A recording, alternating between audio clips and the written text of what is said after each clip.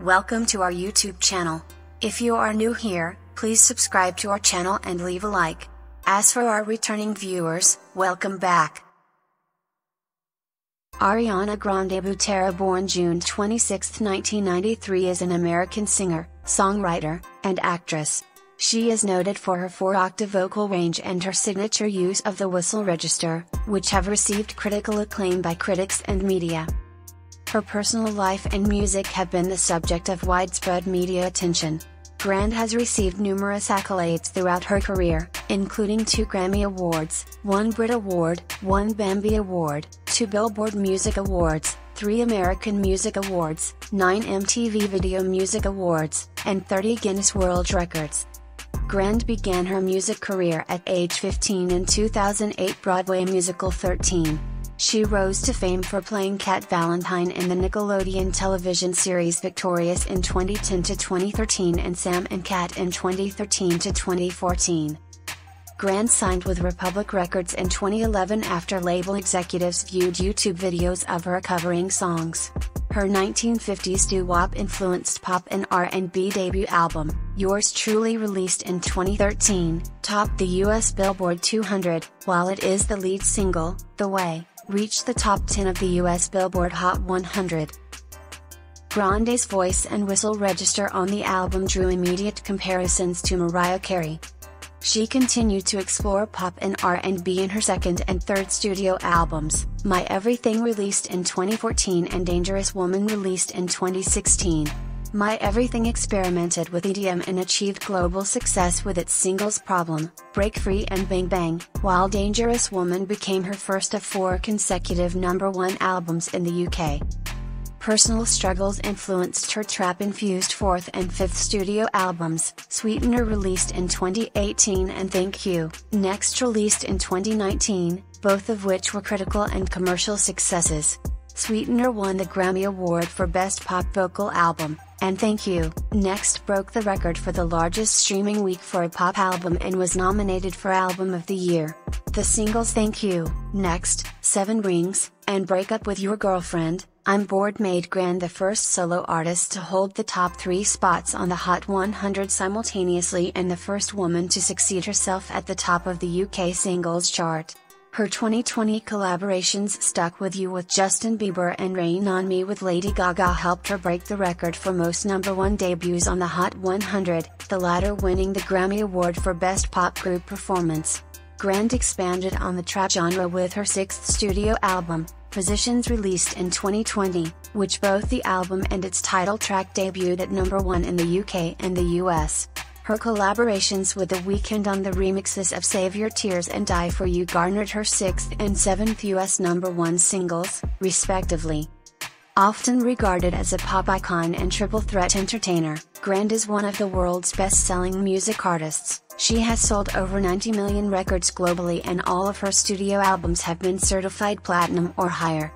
Among her Billboard chart records, she is the first artist to have five number one debuts, the first and only solo artist to chart three number one debuts in one calendar year, and the only artist to debut the lead singles from each of her studio albums in the top 10, and to have their first five number one singles debut at the top spot. Grande is the most streamed female artist of all time, the most streamed female artist on Spotify and Apple Music, the most followed female artist on Spotify, and the most subscribed female solo artist on YouTube. Nine of Grande's songs and seven of her music videos reached 1 billion streams and views on Spotify and Vevo, respectively.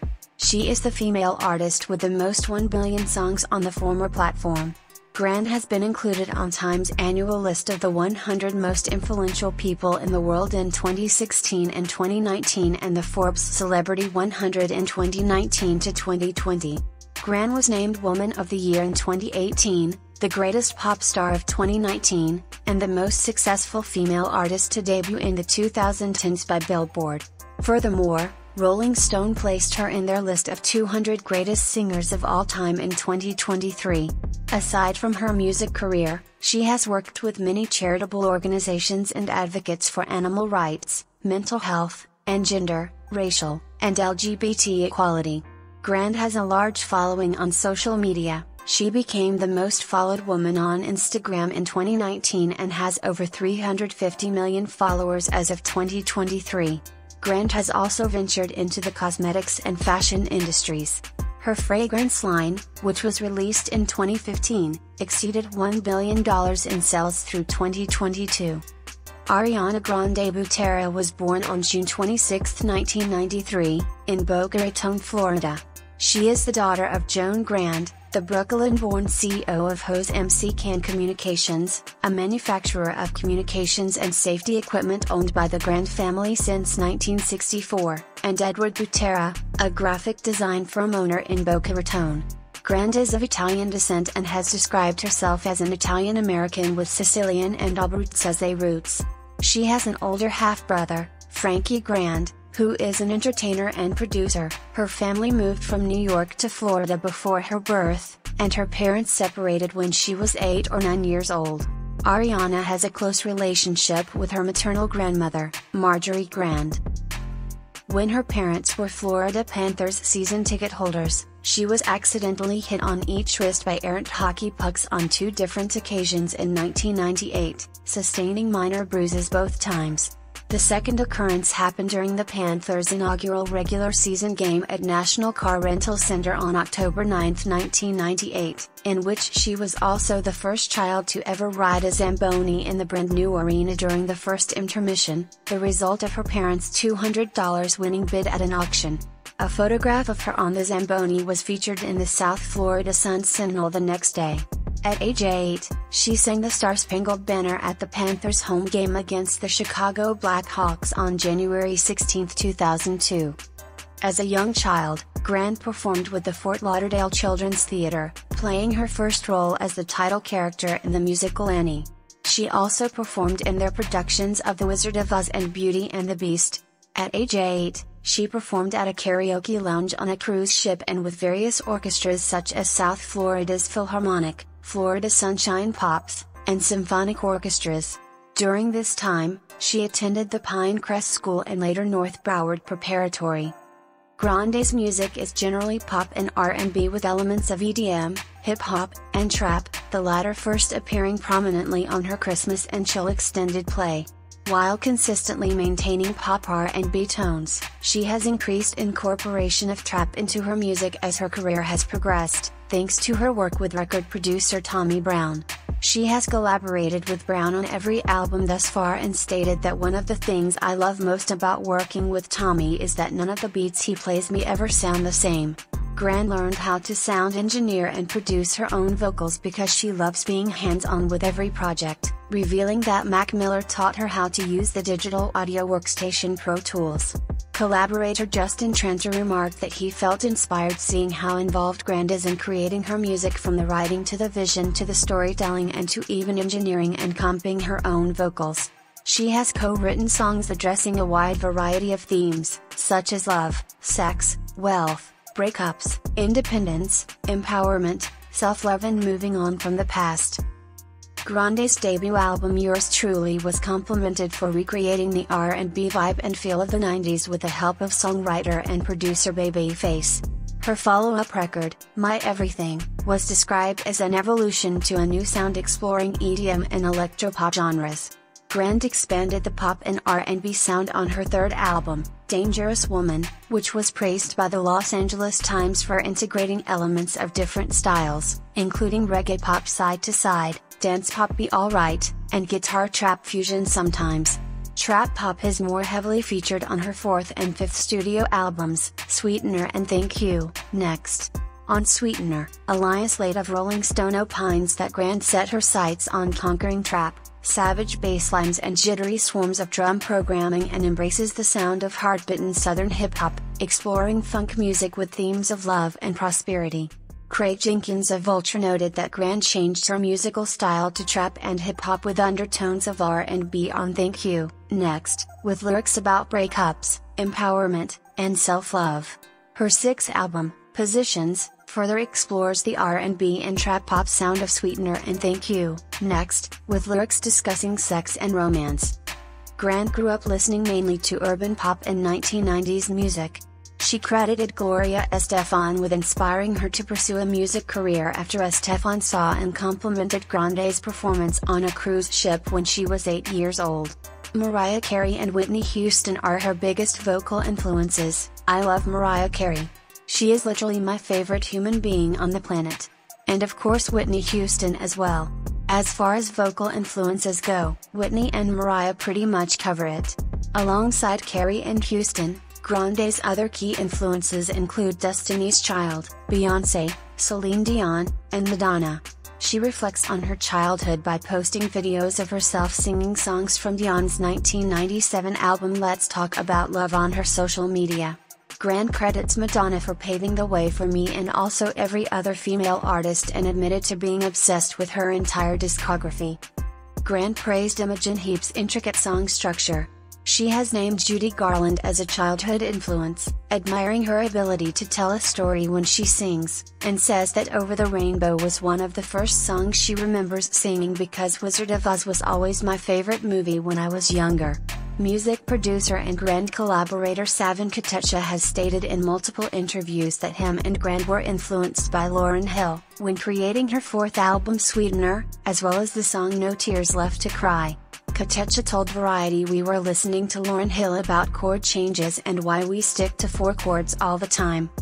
Musically, Grande admires India.Arie because her music makes me feel like everything is going to be okay and loves Brandy's songs because her riffs are incredibly on point. She has also expressed admiration for rappers who impact the music industry without a planned release date, telling Billboard, My dream has always been to be, obviously not a rapper, but, like, to put out music in the way that a rapper does. I feel like there are certain standards that pop women are held to that men aren't, it's just like, bruh, I just want to, drop music the way these boys do. It inspired her to release Thank You, next without any prior announcement, which the ringer called more of a Drake move than an Ariana Grande move. Grande is a light lyric soprano, possessing a 4-octave vocal range and a whistle register. With the release of Yours Truly, Critics compared Grande to Mariah Carey because of her wide vocal range, sound, and musical material. Julianne Escobedo Shepherd of Billboard wrote that both Carey and Grande have the talent to let their vocals do the talking, that's not where the similarities end, Grande is subverting it with cute, comfortable, and on-trend dresses with a feminine slant. Grande responded to the comparisons, it's a huge compliment, but when you hear my entire album, you'll see that Mariah's sound is much different than mine. Steven J. Horowitz of Billboard wrote in 2014, with her sophomore album, the problem singer no longer resembles Carey, and that's okay. Mark Savage of BBC News commented, Grande is one of pop's most intriguing and gifted singers. A magnetic performer with unrivaled vocal control. In the New York Times, Jon Pareles wrote that Grande's voice can be silky, breathy or cutting, swooping through long melismas or jabbing out short R&B phrases. It's always supple and airborne, never forced. Composer and playwright Jason Robert Brown addressed Grande in a 2016 Time magazine article No matter how much you are underestimated, you are going to open your mouth and that unbelievable sound is going to come out. That extraordinary, versatile, limitless instrument that allows you to shut down every objection and every obstacle. Grande cited Audrey Hepburn as a major style influence in her early years of fame, but began to find emulating Hepburn's style a little boring as her career progressed. She also drew inspiration from actresses of the 1950s and 1960s, such as Ann-Margret, Nancy Sinatra, and Marilyn Monroe. Grande's modest look early in her career was described as age appropriate in comparison to contemporary artists who grew up in the public eye. Jim Farber of the New York Daily News wrote in 2014 that Grande received less attention for how little she wears or how graphically she moves than for how she sings. That year, she abandoned her earlier style and began wearing short skirts and crop tops with knee-high boots in live performances and red carpet events. She also began regularly wearing cat and bunny ears. In recent years, she began wearing oversized jackets and hoodies. Grande's style is often imitated by social media influencers and celebrities. After years of dyeing her hair red for the role of Cat Valentine, Grande wore extensions as her hair recovered from the damage. Anne T. Donahue of MTV News noted that her iconic high ponytail has received more attention than her fashion choices. Although Grande drew criticism for alleged impolite interactions with reporters and fans in 2014, she dismissed the reports as weird, inaccurate depictions. Rolling Stone wrote, Some may cry diva, but it's also Grande just taking a stand to not allow others to control her image. In July 2015, Grande sparked controversy after being seen on surveillance video in a donut shop licking donuts that were on display and saying I hate Americans. I hate America. This is disgusting, referring to a tray of donuts.